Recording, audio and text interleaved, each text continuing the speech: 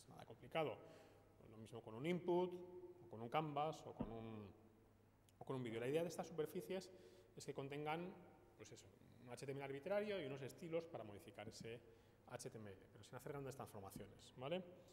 Y una, cosa que es importante es que estas superficies, sobre las que vamos a meter HTML, Famous no sabe nada. Ni sabe nada ni quiere saber.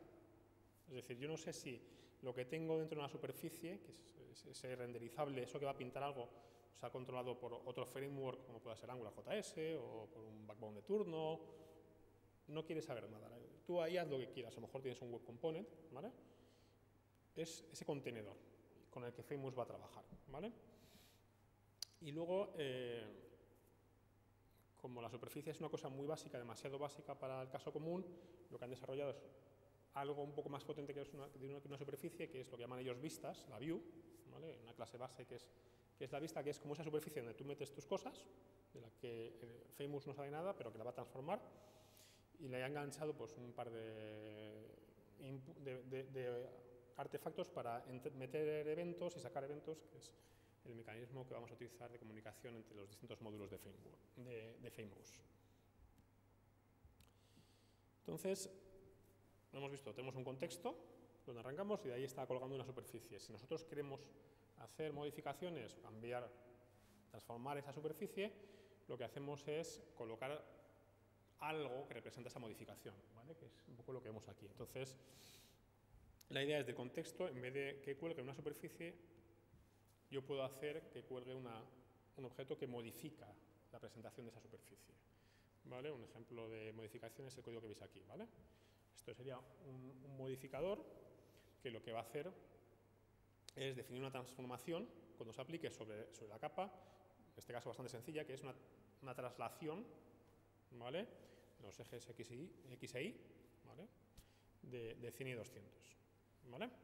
En este caso, pues trasladaríamos que estáis viendo una superficie que esté colgando eh, desde la esquina superior izquierda. Las traslaciones, por ejemplo, pues, para simplificarte la vida, no solamente puedes en términos tan absolutos como estos, sino puedes definirlo en base a, unidades relativas, pues oye, lo quiero a la derecha, a la izquierda o centrado de cierta manera, en función del tamaño del hijo, es decir, te da unas ciertas características para tener más flexibilidad que este ejemplo tan sencillo. ¿Vale? En este caso, el, árbol que hemos visto en la, slide anterior sería este hola mundo con el que, habríamos empezado. ¿Vale? Estos bueno, este, esta presentación que luego os colgaré os permite en cada, en cada slide ver el, código que, que, está renderizando esto. ¿vale? Entonces, en este caso, ¿vale? lo que antes hemos visto de manera esquemática se traduciría en esto de aquí. Básicamente, esta es la transformación que hemos visto antes, no sé si se ve. ¿Se ve? A ver si me deja hacer.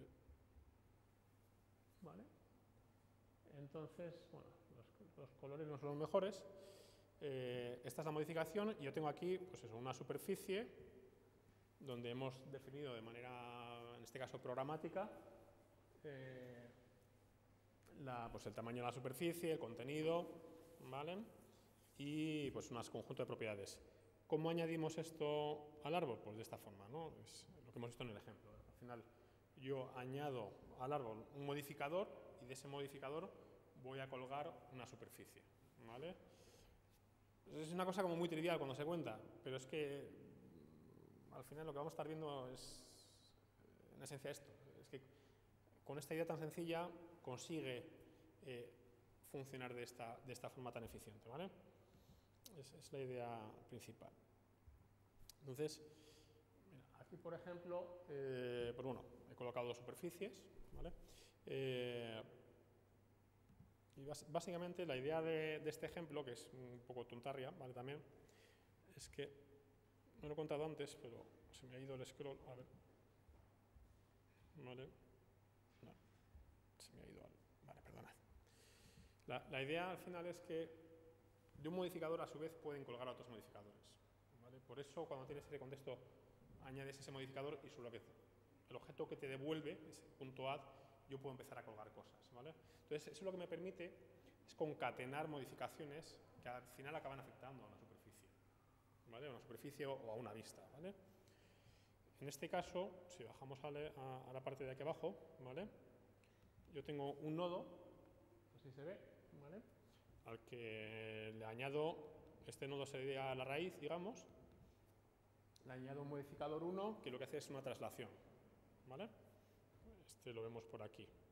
Traslada 400 y 100, ¿vale? Y sobre ese nodo modificador 1, mantengo una referencia a ese, punto, y soy capaz de añadir un segundo modificador que hace otra traslación, ¿vale? Y agrego la superficie 2. Esta, esta sería esta superficie de aquí.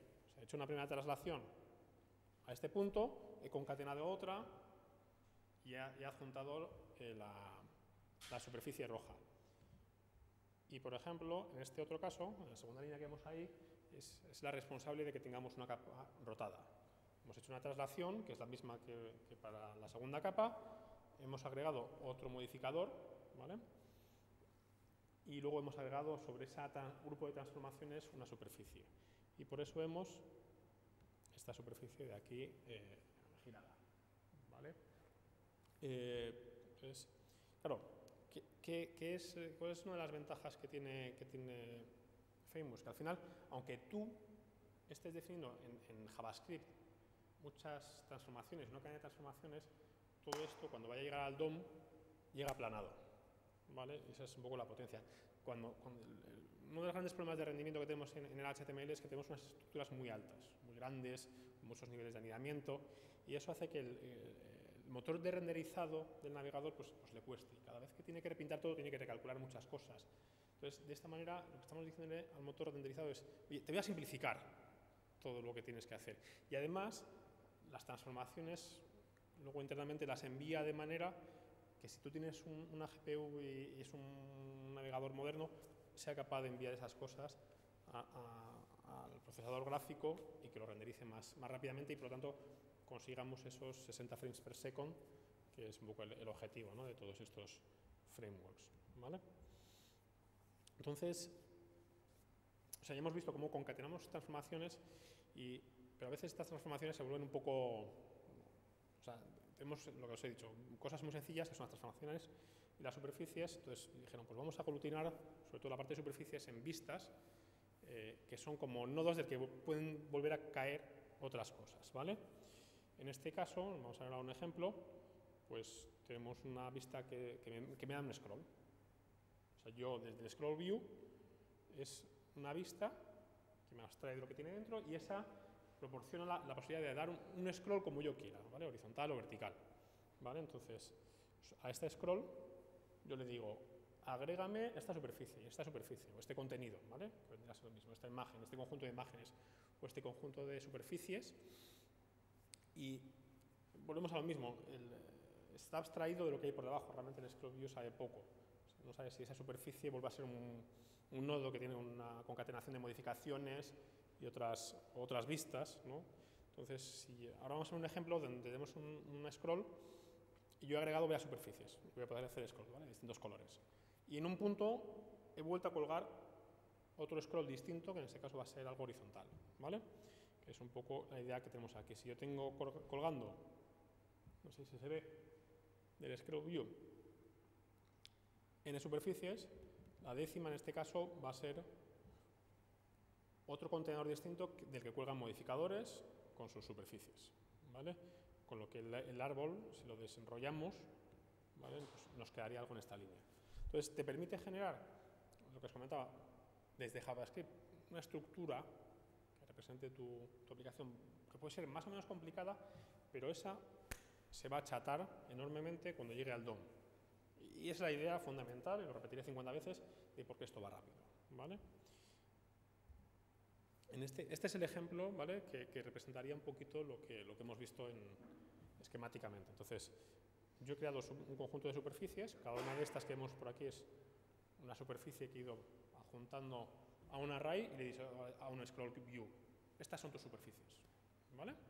Entonces, me lo ha pintado. Pero la primera de ellas realmente no era una superficie básica, sino era un contenedor de otra scroll view, que en este caso está configurado para tener un scroll horizontal.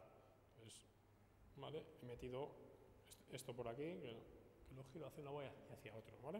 Eso Entonces, claro, hacer esto a lo mejor con HTML, luego, luego veremos más, más ejemplos, ¿no? Y los ejemplos finales, estás como muy limitado si cuesta mucho, ¿no? Aquí te vas olvidando un poquito de las complejidades de lo que tienes por dentro, ¿vale? Y, realmente puedes acabar añadiendo muchos efectos visuales, ¿vale? Que es, es la idea de todo esto para hacer. Entonces, si miramos el, código fuente del ejemplo, este, ¿vale? Básicamente, añado por aquí, vaya.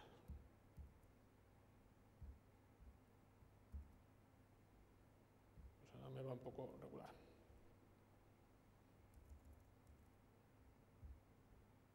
Vale, la idea es, en el nodo principal yo añado un scroll view, ¿vale? Este es scroll view, que lo tengo por aquí, definido. Perdona, sí. Vaya. Cambiar el tamaño, esto no está muy... No, he hecho pruebas y, y cuando no pruebas algo ya sabéis que es la ley de Murphy. A ver si me tira ahora. Vale. Aquí, aquí arriba yo he definido mi scroll view, ¿vale? No sé si lo veis, la línea 12 que estoy marcando. No se ve muy bien, pero bueno. Y en el scroll view yo le digo, oye, construyete, que es la línea 20, a partir de un array de superficies. De hecho, en el momento en que le explico cómo se tiene que construir, el array está incluso vacío. ¿Vale? Famous tiene un, ciclo que se ejecuta cada 60, cada uno, cada, uno entre 60 segundos, ¿vale? Y donde, donde hace los repintados que correspondan, ¿vale? Entonces, por eso esto funciona. Entonces yo le digo al scroll view, oye, construyete a partir de estas superficies de aquí. ¿Vale? Y luego aquí abajo, tiqui, tiqui, tiqui, la línea 44, que no se ve, ¿vale? Es donde eh, le estamos añadiendo toda la lista de las 40 superficies, ¿vale? O sea, aquí yo tengo un bucle que estoy marcando, va haciendo news de superficies y las agrega. Y eso lo que he conseguido es pintar este, esta, este, esta, cosa con scroll que hemos visto de colorines. ¿vale? Y luego hice un scroll horizontal que está por aquí y lo puse en primera posición. Entonces, lo que hizo es, pues, arriba tengo un scroll horizontal y luego el resto. Entonces, esto es lo que hace que, funcione. Entonces, sí que es cierto que aquí acabas programando mucho JavaScript. Tiras, tiras poco de HTML ¿no? para la interfaz. Eh, hay formas de solventar esto. Pues, por ejemplo, hay plugins para Angular para hacerlo un poco más declarativo en vez de programático. Y luego hay, hay un objeto que se llama scene, que con un JSON grande, de forma declarativa, también configuras tu escena y te evitas el hacer algo tan, tan imperativo como esto, digamos. Em, solamente, bueno, luego lo veremos aquí. Aquí hay una cosa, aunque luego lo veremos sobre ello, que es esto de temp pipe, ¿vale? que es, eh, tiene Famous, que básicamente cada temp es cada una de las superficies, ¿vale? El pipe, no sé si alguno habéis hecho alguna programación reactiva o con básicamente lo que está haciendo es eso, es decir, en cada superficie, cada vez que se produzca un evento, envía todos los eventos que, tengas a este otro elemento, que los recibe y puede actuar en consecuencia, ¿vale? En este caso es para que funcione el scroll, ¿vale? Lo que estamos haciendo es que detecte el movimiento de la rueda o trackpad en la, capa interna y se lo envíe a la capa superior, que es la de scroll, para que funcione correctamente. ¿vale? Em, entonces, de esta forma, pues bueno, conseguimos estos efectos que son pues, bastante, bastante fluidos, ¿vale? Y no utiliza el scroll nativo de, del navegador. Entonces, eh, vale, o sea, lo que he visto hasta ahora realmente era todo bastante, bastante estático. el siguiente ejemplo creo que me ha roto. Eh, los, modificadores, eh, hemos visto antes una modificación como la de traslación o, rotación, ¿vale? Y era algo, pues eso, que aplicaba una transformación y punto. Tienes unas clases como un objeto que te proporciona como este de aquí de State Modifier, que lo que te permite es, además de definir una transformación, unos nuevos valores para la mejor dicho, te permite definir cómo quieres que cambie ese valor en el tiempo. Es decir, en este caso, pues si yo agrego aquí una... agrego al, ejemplo este, una, transformación de posición, le puedo decir cuánto tiempo quiero que tarde en alcanzar el nuevo valor, ¿vale? y quiero decirle cuál va a ser la curva, la distribución de esos valores durante esa transformación. Es decir, si quiero que sea lineal, si quiero que sea pues, cuadrático, la gente que, juega con animaciones lo sabe mejor que yo. De hecho, incluso tú puedes definir transformaciones más eh, con el motor que tienen de 3D físico, eh, más naturales, pues como si fuese un muelle o cosas de este estilo, ¿vale? Entonces, este es el ejemplo que se me ha roto. Vale, perdonad, lo dejaré bien para cuando lo veáis, ¿vale? Eh, lo único, se me dio santo el cielo. Vale, también otra de las cosas que tiene el motor este es que cuando defines una transformación y defines los nuevos valores, defines las, cómo quieres que sea la transformación, puedes pasar a un tercer parámetro que es el callback, por si en un momento dado quieres concatenar transformaciones. ¿Vale?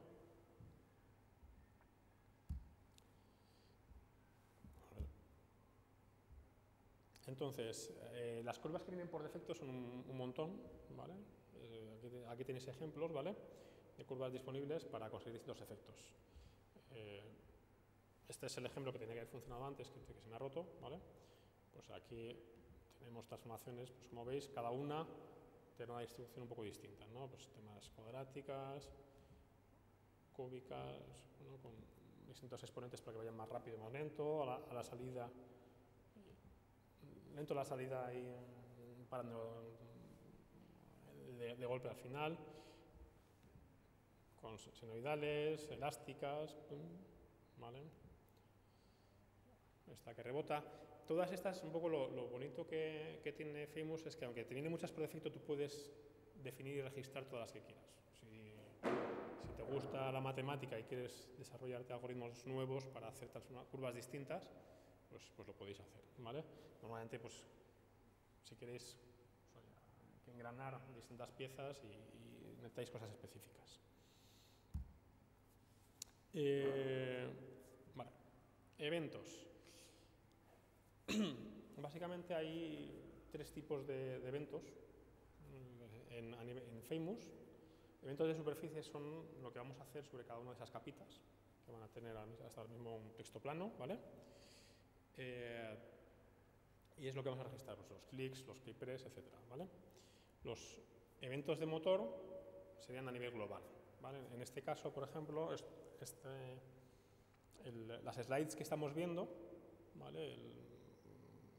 me lo monté yo para este fin de semana para la presentación de hoy, porque no me he dado tiempo a prepararlo durante más tiempo, y lo que estoy haciendo es registrando, registrar un par de eventos globales sobre las teclas M y N, que son los controles para avanzar hacia adelante y hacia atrás. ¿vale? Eh, en cambio, por ejemplo, el, el, botón, la capa que está de ver fuentes, que es otra superficie, ¿vale? pues tendría un evento de superficie, ¿vale? Esto lo que hace es utilizar unas vistas distintas, ¿vale? Que es un flip, que lo que hace es como si fuese una carta que me cambia. O sea, yo realmente eh, tengo, tengo una vista que, representa, no sé cómo se llama, se llama flipper. Y tiene la parte, pues, la, parte delantera de una carta y la parte posterior. En la delantera tengo el ejemplo, en la posterior tengo los fuentes, siempre, los ejemplos, ¿vale? Entonces, de hecho, la animación esta es la que te proporciona, eh, la que te configuras tú al, flipper, ¿vale? Eh, entonces, en este caso, pues bueno, es que hacer un clic, es que, que os voy a contar. O sea, registrar sobre una capa un clic es tan sencillo como utilizar un on de toda la vida, ¿vale? Este de aquí, lo que veis es en la superficie, no sé si lo veis, eh, yo me registro un evento clic, ¿vale? Y cuando se ejecuta sobre el objeto de superficie cambio la propiedad, ¿vale? Es, así de sencillo, ¿no? Comienzo.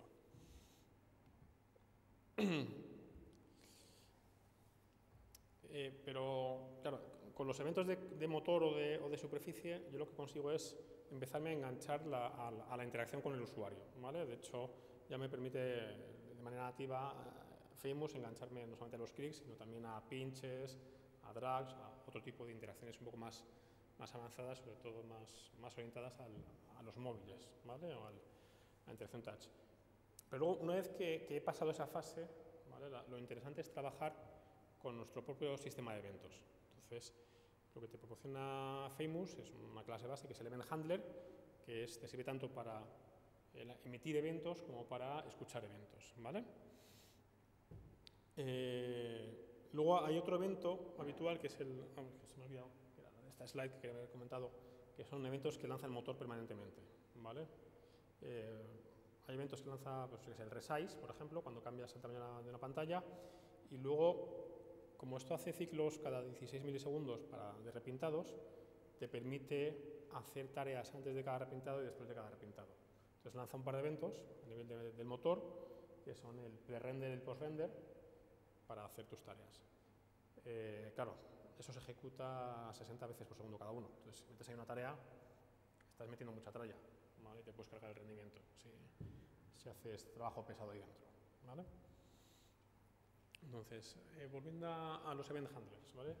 La idea es que internamente luego nosotros, toda la comunicación entre los módulos que hagamos entre las vistas, entre las superficies, de, Famous, todos los componentes que hagamos, los trabajemos con, con eventos, ¿vale? entonces tenemos una clase base que es el Event Handler. Es, muy sencillo. Y si habéis trabajado con sistemas de eventos en otros lados, pues resultará muy, muy, muy natural. Te puedes registrar con el on a un tipo de evento arbitrario y con el emit puedes evitar ese, tipo de evento arbitrario que tú quieras, acompañado de unos datos. ¿vale?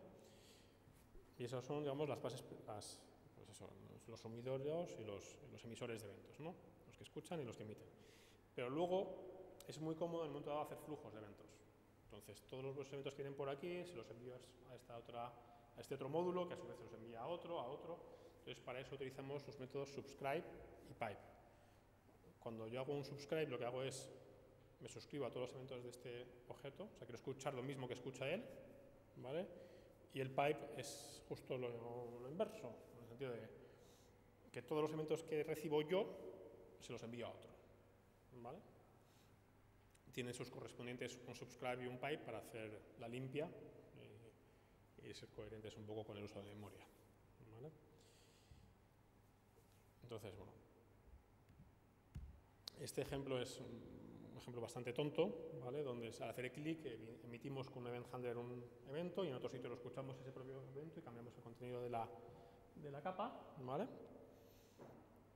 Eh, entonces aquí con el surface on click, ¿vale? yo tengo un event handler que hemos declarado más arriba y emitimos un, un hello.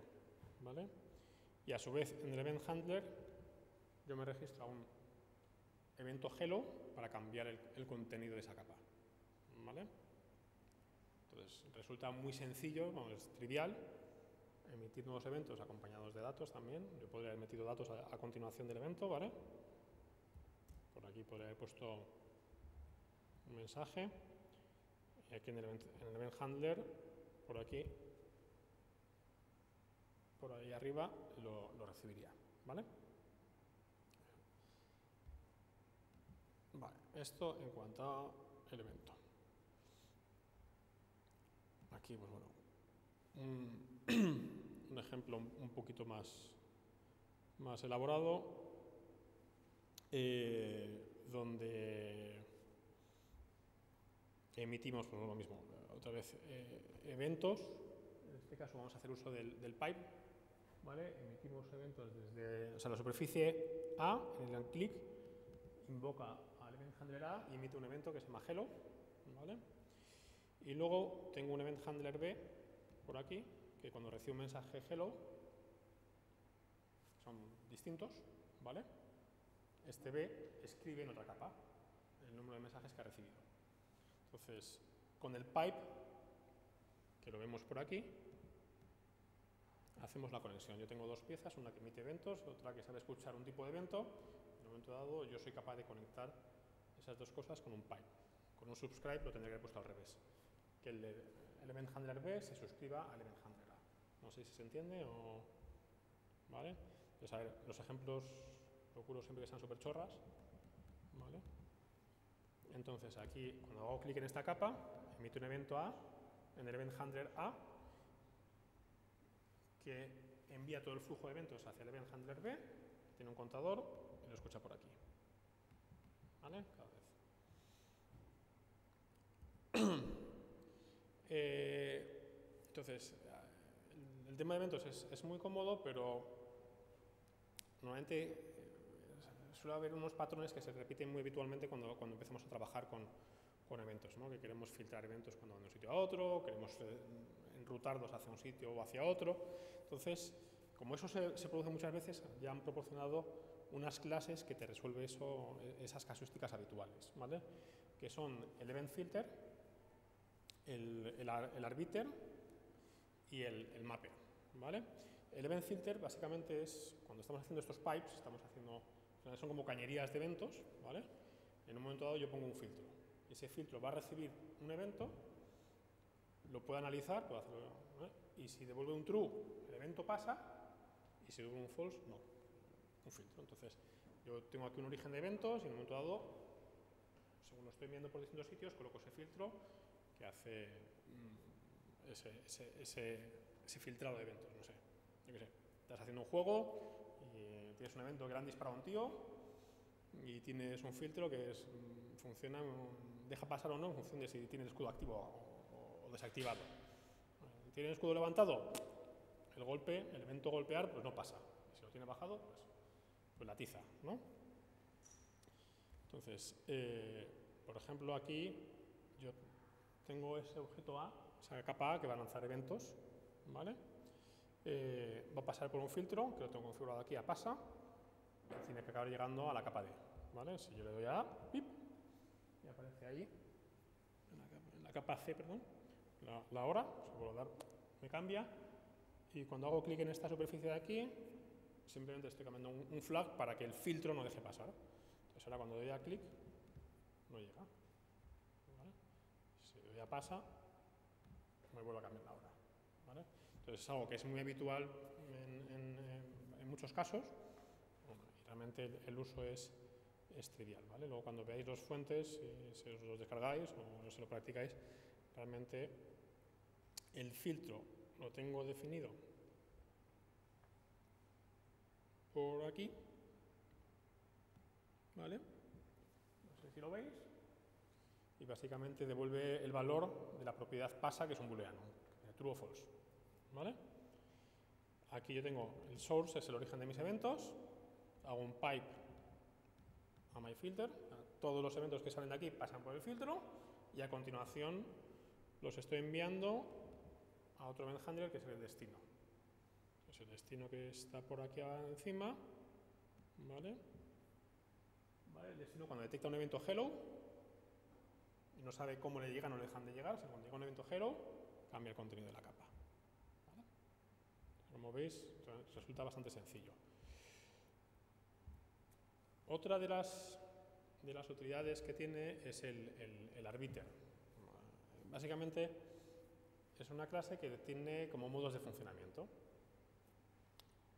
Entonces, para cada modo de funcionamiento lo que va a hacer es, va a tener registrados event handlers y va a redirigir a uno o a otro los eventos. Entonces, eh, si tú tuvieses pues, esa cañería y en un momento dado tuvieses pues, es una compuerta que dices hacia dónde va, de todas las tuberías de, eventos que tenemos. En este caso está activado el modo D, entonces cuando yo hago clic aquí, es, la capa D la que se está actualizando por ahí. ¿vale? y si cambio el modo es la capa E. ¿vale? Esto, el uso pues vuelve a ser una, cosa bastante sencilla. ¿vale? Yo me defino mi event arbiter. ¿vale? En cualquier momento puedo cambiar el modo del, con esto de aquí, de set current mode. No sé si se ve. Es que no sé si lo veis, es en negro. Eh, entonces le cambio el modo y luego, en cualquier momento, yo puedo además agregar nuevos modos y digo, con esta línea que vemos por aquí, ¿vale? de, de mode, ¿vale? es devuélveme el handler que va a ejecutar los eventos de este modo, cada uno de los modos. Entonces, eh, es una forma bastante sencilla en el momento de los eventos hacia un lado o hacia otro, ¿vale? y hacer pues estas, estos eh, cañerías, estos eh, canales de, eventos que vayan de un sitio para otro. ¿vale? Y luego el, el último ejemplo, ¿vale? que es, ah, vale. Lo que pasa es que no, tenía que haber cambiado la visualización, ¿vale? Es el mapper, vaya, perdonad. Me ha faltado poner un que me persista la posición. El mapper, básicamente, el, el, el event arbiter lo que hacía era, yo tenía un modo de una configuración, un modo, de, digamos, y entonces me enviaba todos a un sitio, todos a otro. El mapper lo que hace es decidir en tipo de ejecución, digamos, cuando llega a cada uno de los eventos, a qué sitio lo envía. En vez de decir todo el flujo va por aquí, va despachando y pasa para uno o para otro. En el ejemplo que vemos por aquí, ¿vale? Yo tengo un event mapper, vale, estoy en el arbiter, aquí, ¿vale? Y entonces, básicamente lo que hace es, le llega el evento, ¿vale? Y en función de, de, de, de, lo que quiera del evento, de variables eh, de, otro sitio, devuelve el event handler que se va a encargar de, ese evento, pero no le, no le pasa a él nada concreto. No sé si se entiende el ejemplo. ¿vale?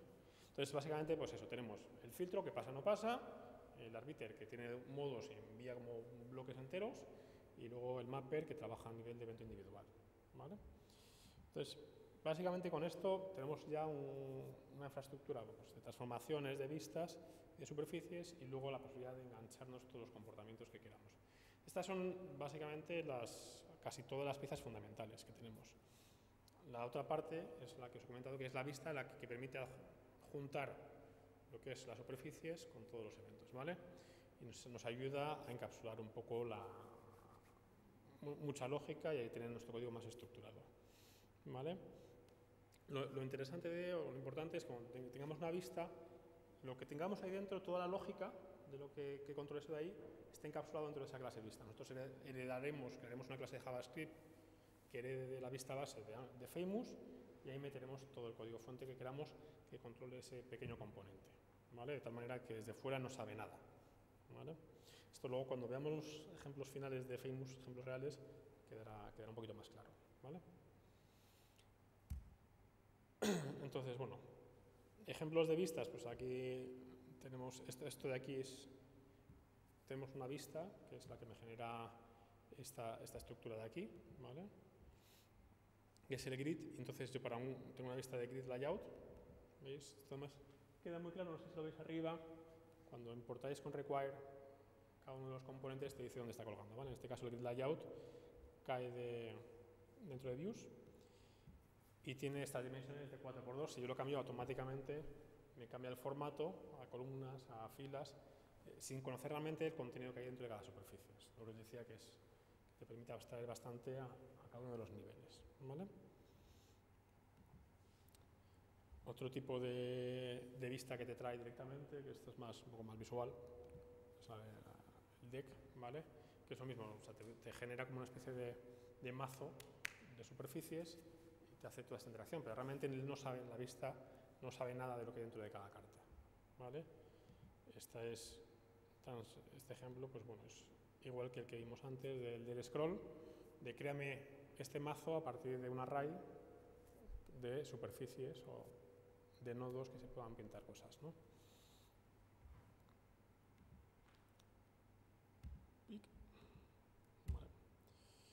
Y entonces, bueno, mmm, o sea, básicamente, eh, lo que os acabo de contar, con esto ya es con lo que yo he empezado a hacer eh, esta aplicación de slides, por ejemplo, que me sacaba los fuentes, que me, me tiraba, me recargaba las cosas. No necesitas mucho más, al final lo que necesitas es saber que tienes nodos donde vas a meter contenido y los transformas. Puedes hacer transformaciones en un sentido, en otro, pues cuando, supongo que será tema para otro meetup, estudiar en profundidad todas las transformaciones que podemos hacer, porque las que hemos visto han sido pues, básicamente las más sencillotas, que son girar y, trasladar, pero tú puedes definir transformaciones con tres ejes, X y Z, al final se te van a definir con una matriz y puedes, pues eso, apaisar las piezas, girarlas, eh, que es un poco, no sé, no hemos visto ninguno de giro antes de. Eh, puedes hacer rotaciones en cualquiera de los ejes, entonces es, es muy potente, ¿vale? Lo que pasa es que da para, para otra charla. Eh, entonces, o sea, pero con estas piezas que hemos visto aquí, fundamentalmente, se pueden hacer algunos de los ejemplos como los que he traído para aquí. Se me carga. ¡Ay!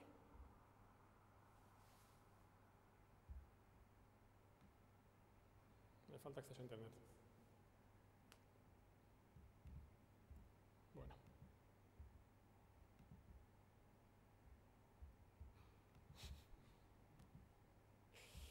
A ver.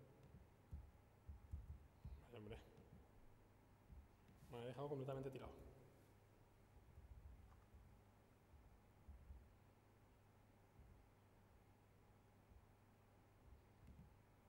No puedo creer. Pues permitidme. Espera, ¿dónde está?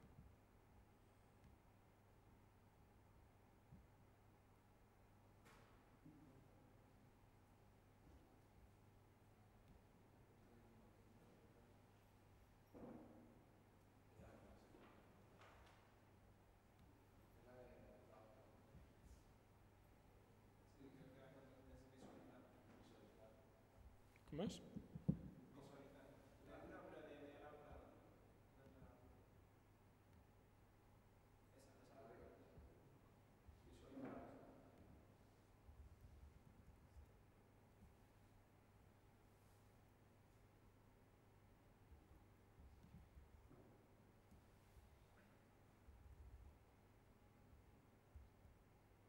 Vale. Vale, entonces, bueno, estos son. Esto es lo que queríamos ver al final, no las cajas rojas. vale, entonces, la, idea es, eh, es trabajar con este tipo de, de interacciones. Al final, esto parece, parece muy complicado, bueno, tampoco es que sea trivial, no es tan trivial como, como prometían ellos, ¿vale? Eh, pero se pueden hacer estas cosas, ¿vale? Que antes era un poco complicado, ¿vale? Entonces, para esto sí que tenemos aquí los, los ejemplos. Esta de publicar.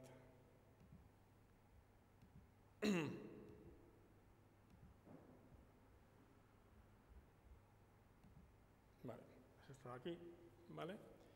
Entonces, lo que os decía, esto es al final lo que ah, eh, tú configuras tu, tu- efecto. Aquí tenemos los, los títulos y el texto que hay en la imagen, ¿vale? Que vemos por aquí,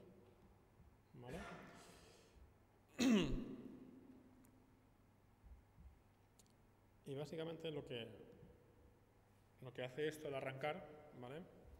Ellos han creado un, su list view, que es suya propia, ¿vale? Que es la que hace este efecto de, de scroll bonito, ¿vale? Y le pasa los datos desde fuera para configurar la visualización, ¿vale? Y lo añade al contexto. Entonces, eh, si, si analizáis cómo, cómo han resuelto este tipo de cosas, resulta bastante sencillo o sea, y queda muy estructurado, ¿vale? Si nos te- venimos aquí, esta list view es la vista global, por lo tanto, cuando empezaron a diseñar esto, dijeron, ¿qué tenemos aquí? Pues tenemos una opción de menú que me gestiona mi menú global, que es esto de following, y tengo este efecto por detrás. Entonces, la que me da lo de following y lo de detrás, básicamente te está pidiendo que sea un objeto, ¿vale? Que es esta list view. Y, y lo que hace este otro efecto es el page view, ¿vale? Que se, que se ve por aquí. Que lo importa por aquí. ¿Vale? Con este, con este require. Entonces, si miráis por aquí, hace mm, relativamente pocas cosas, ¿vale? Esto tiene comportamiento. Pero lo que hace es, bueno, controlar un poco las... la- lo que es el... Vaya hombre. Los scrolls. Pero lo, lo- lo que hace luego internamente dice, yo tengo este page view, pero al final lo que va haciendo, eh, veis en todos los ejemplos, que se va estructurando como por cada, cada bloque tiene a su vez bloques pequeñitos anidados y otras veces anidados. Entonces, el page list view es el que es responsable de los efectos estos que, que estamos viendo. Y en última instancia, esto actuaría como una especie del scroll view que vimos por debajo antes y, el strip list view es que es, se encarga de cada pequeña fila, ¿vale? haciéndolo crecer, haciéndolo disminuirse. Y aquí es donde realmente acabamos viendo los modificadores, que es, por ejemplo, este, este image mod que se ve por aquí. Entonces, aquí vamos a cada uno de los modificadores se van haciendo distintas transformaciones, tanto al texto como a la imagen, ¿vale? y aplicamos estos ejemplos de aquí. Entonces, realmente es un poco lo que os decía. Mm, a ver cómo lo explico. O sea, yo me, me, olvido, cuando, cuando trabajo a cada nivel, me olvido de cómo funciona en la parte de dentro. Entonces, en, en, este caso, la, la, parte más interior es el efecto de la imagen con, las, con los textos que salen. Yo tengo una zona de trabajo, más grande o más pequeño, sobre el que yo muevo textos en función de unos eventos que me llegan, que me dicen dónde estoy. Entonces, cada uno de estos estas imágenes lo que hacen es trabajar con modificadores sobre la capa de imagen y sobre la capa de texto. ¿vale? Entonces, realmente saben muy poquito del texto que hay ahí dentro. ¿vale?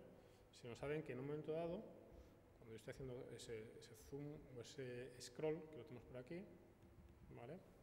con los pipes, yo tengo que modificar una propiedad con ese modificador. ¿vale? Em, aquí, por ejemplo, este es un ejemplo más sencillo de ver. Eh, tenemos unas opciones por aquí y sobre todo pues, este efecto que es bonito de cómo saco las opciones de menú con, una interacción. ¿vale? Este ejemplo que es más claro de entender que es el Things List, ¿vale? lo tengo más claro. Era, a ver si he visto que era.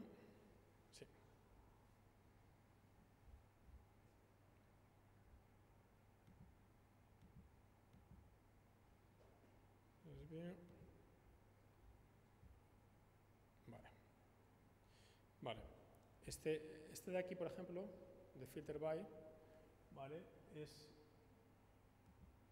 al final esto es como una capa muy sencillota, ¿vale? Que tiene cinco iconos. Yo posiciono los iconos en cada sitio.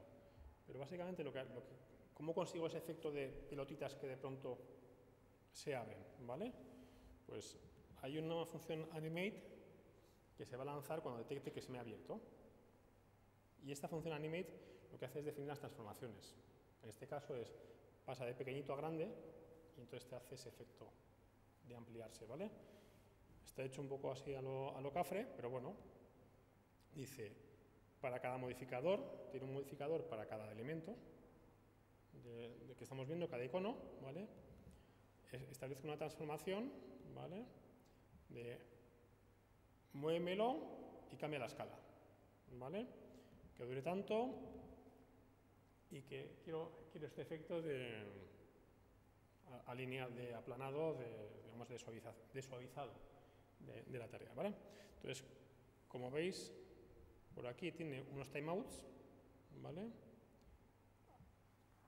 Esto de time.setTimeout es para que se ejecute otra vez dentro del contexto de las ejecuciones de Famous y no te saltes digamos, un, un tick de Famous, ¿vale? Y, básicamente los timeouts que veis por aquí es para empezar a hacer cosas más sutiles, que es, estos han crecido un poco más tarde, a medida que bajando, ¿vale? Pero veis que o sea, realmente ha quedado resuelto de una manera muy sencilla. Yo tengo un conjunto de iconos, estos tres lanzan una transformación, que es esta de aquí, la primera, ¿vale? empezaría por aquí, la segunda fila, que hay un icono que está desactivado, que es el de música, lo lanzo con esto y un poco más tarde, ¿vale? Lanzo esto de aquí. Y además, bueno, lo que se está haciendo es, es, trabajar con, con, la duración para, para, que vayan más o menos todos sincronizados. Entonces, como veis, o sea, yo, yo soy capaz de hacer transformaciones sobre un elemento del DOM que puede estar controlado, lo que os decía, por otro framework. O sea, esa capa puede ser algo controlado por un web component de Polymer, puede ser algo controlado por AngularJS, puede ser algo controlado por Backbone, y somos capaces de, aplicar todo tipo de transformaciones, ¿vale? Puedes tener incluso un iframe ahí dentro, y lo rota, le da mil vueltas, ¿vale? Y, funciona con esta, con esta suavidad, ¿vale? Claro, si, si miramos aquí el... Una cuestión. Esto está dentro del iframe cuando os decía que, esto tiende a, achatar mucho, es, esto de aquí, ¿vale? Si, miráis, eh, si miráis las capas, lo que hace es trabajar como con muy poco nivel de anidamiento, ¿vale? O sea, yo, la mitad de estas están medio vacías y lo único que tienes es una imagen aquí dentro.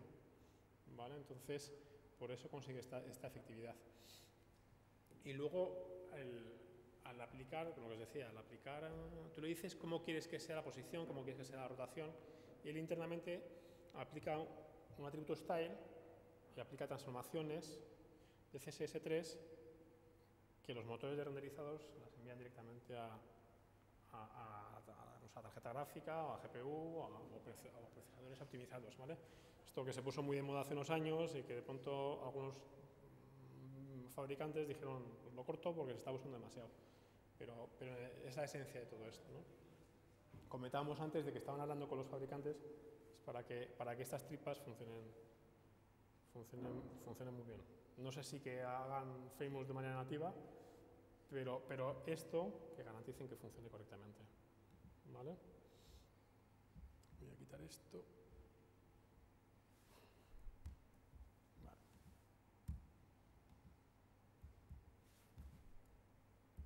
Esto cuando, cuando me voy para allá se me va. Vale. Este es otro ejemplo bastante sencillote, es el de PHQ4, que sirve para, para ilustrar las cosas que podemos hacer aquí. Aquí veis que, no sé si os fijáis el detalle, que cuando llegan los pececillos, luego se, empiezan a mover tranquilamente hasta que llegan a su, destino final. ¿Vale? Esto es un poco las ventajas que tiene, que puedes empezar a meter cosillas por ahí de manera bastante visual, así bastante... captan un poquitín la atención sin distraer y resulta bastante sencillo. Este ejemplo, que también lo tendréis ahí, ¿vale? básicamente es lo mismo. Tenemos una view, ¿vale? Eh, que es el que regula la vista completa. Luego tenemos unas vistas definidas para la parte del icono y para la parte de la imagen, ¿vale? El picture view es el que tienen por aquí, ¿vale?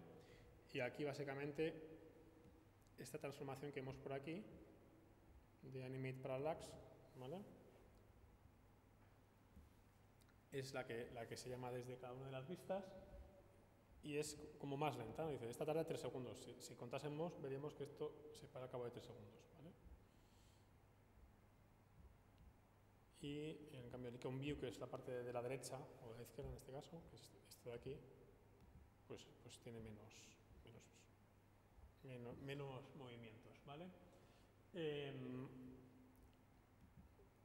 y luego el splash view es la que atrás. Y por aquí hace uso de las, si aquí está. Por aquí va construyendo cada una, cada una de las vistas ¿vale? y coloca las modificaciones y, los coloca en su sitio.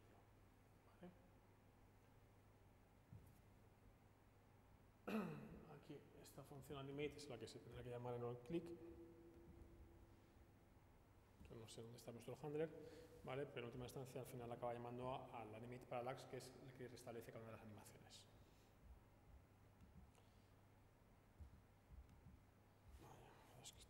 no sé por qué se me va el foco y deja de funcionar. ¿Vale?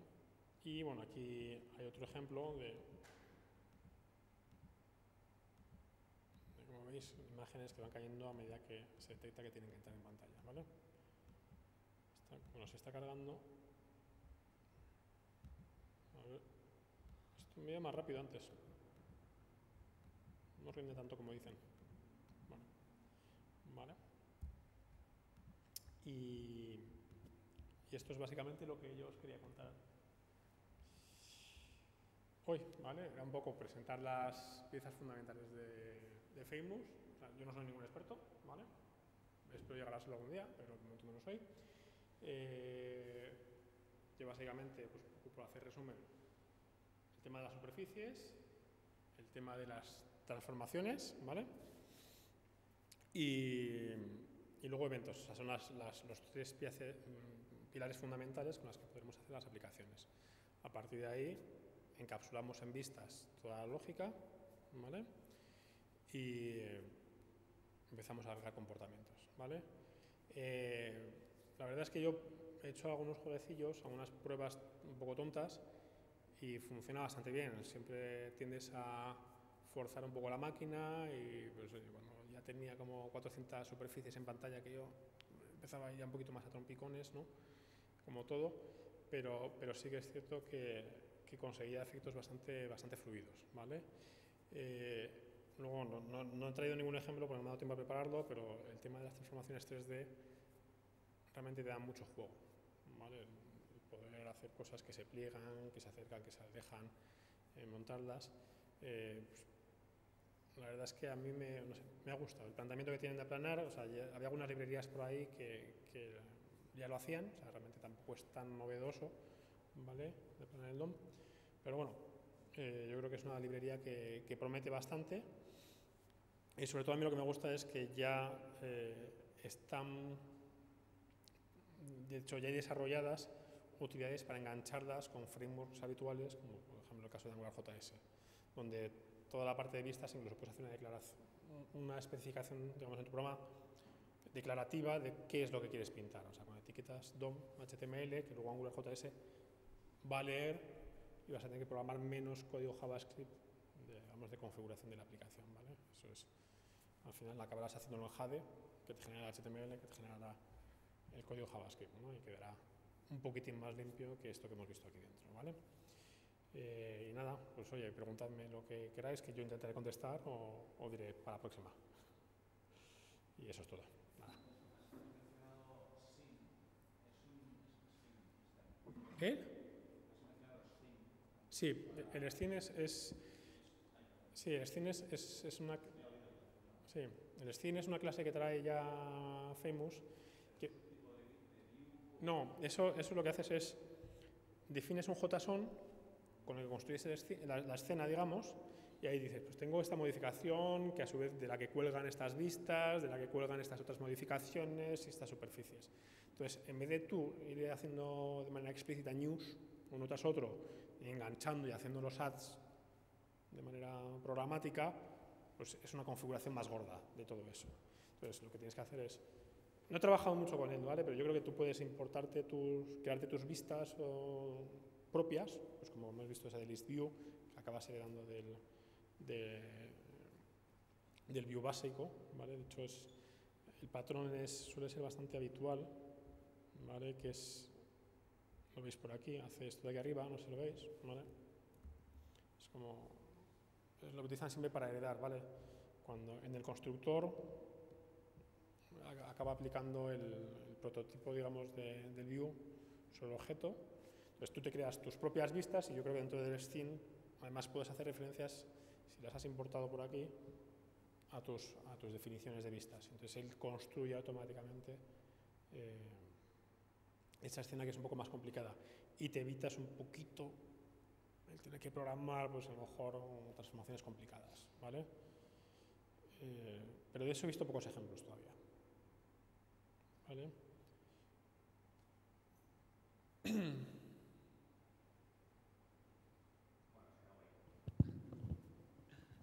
Eh, me ha faltado ver, bueno, supongo que es lo que has estado comentando antes de cómo enganchar eh, mi web app o mi aplicación o lo que tenga, cómo enganchar, cómo engancharle el motor este, ¿no? O sea, ¿hay alguna manera, o supongo que con esto que comentabas de que decir, decidir, por ejemplo, este, este div o esta capa, eh, ahora mismo ahora va a ser un nodo, un nodo famous y se va a comportar de esta manera.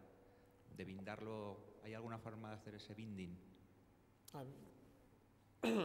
yo todavía he hecho muy pocas prácticas. Sí, vale, desde... O sea, dentro de... yo lo miraré también luego. Yo la próxima traeré ejemplos de, de, de esto y, de hecho me gustaría hacer ejemplos con distintos frameworks para, para tenerlo claro y contarlo mejor, ¿vale? Eh, pero actual, al final la, la idea del view es que en el content yo voy a tener colgando de ahí un HTML, que tendrá lo que sea ahí dentro. Entonces, ¿eh? Solo inyectas programáticamente desde la vista. Sí. Ah. O sea, tendrás, por ejemplo, si, o sea, yo digo, sin, haber trabajado mucho con él, yo como lo haría es, eh, si, si, fuese con AngularJS, pues haría un compile del código HTML que tengo ahí dentro y lo metería en el content. Ah, vale. ¿Vale? Y luego dentro de ese, de ese de AngularJS, dentro de, digamos, pues, de el scope que en ese compile habría hecho, habría metido funciones para las que luego yo pueda engancharme hacia Famous, ¿vale? De igual manera con Backbone, o sea, dentro de la clase View, que es la que me abstrae y desde arriba no se sabe nada, pues yo mm, trabajaría con Backbone, aplicaría una plantilla, tendría mis listeners de mis eventos, mis modelos, mis listeners sobre el modelo, sobre lo que corresponda, y de ahí vamos, abstraería desde fuera, no sabría nada de Backbone, nada, nada de Angular, tendría eventos, perdón, tendría unos métodos que se invocarían y desde ahí lanzaría eventos con pipes de eventos de allá a contexto de Famous, ¿vale? Pero digamos que sí que dejaría todo encapsulado dentro de un view. Claro, por ejemplo, en el caso de, de Angular, yo creo que han, desarrollado un módulo bastante bueno, todavía no he trabajado con él, que me permite generar un, scope para toda la aplicación de Famous, ¿vale? Eh, y debe estar bien regulado. Yo ahora sin eso trabajaría de manera individual dentro de los views compilando contra un scope, me engancharía a eventos de ese scope. Si tengo una aplicación global y un root scope común a todos ellos, para que las distintas piezas de Angular se puedan comunicar, suscribiéndose a, distintos eventos, también que los servicios fuesen comunes y todo esto. Pero dentro de un view sería donde lo encapsularía cada, digamos, tendría una pieza de HTML que tendría su controlador y a partir de ahí caería todo.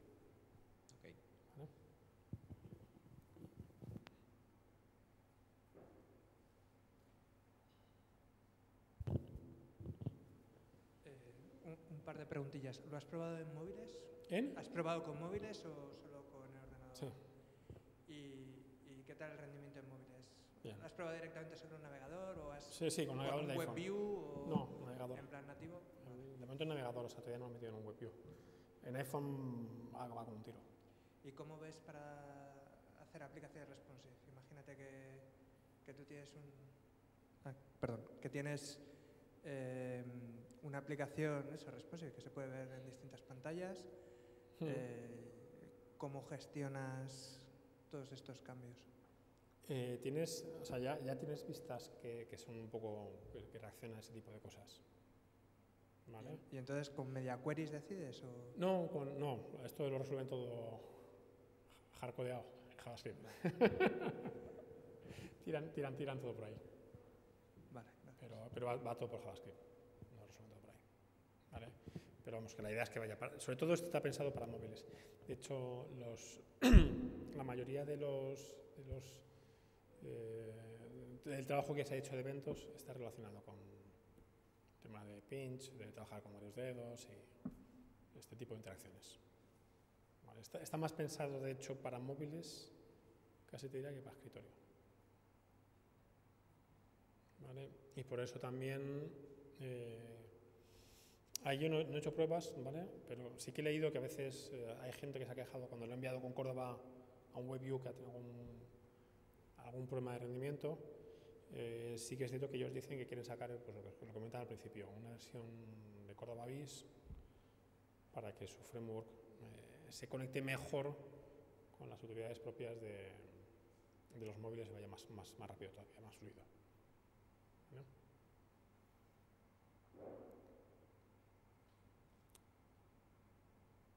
Pues nada, pues eso es todo. muchas gracias. Espero que para la siguiente pueda traer una demo más vistosa que las cajas.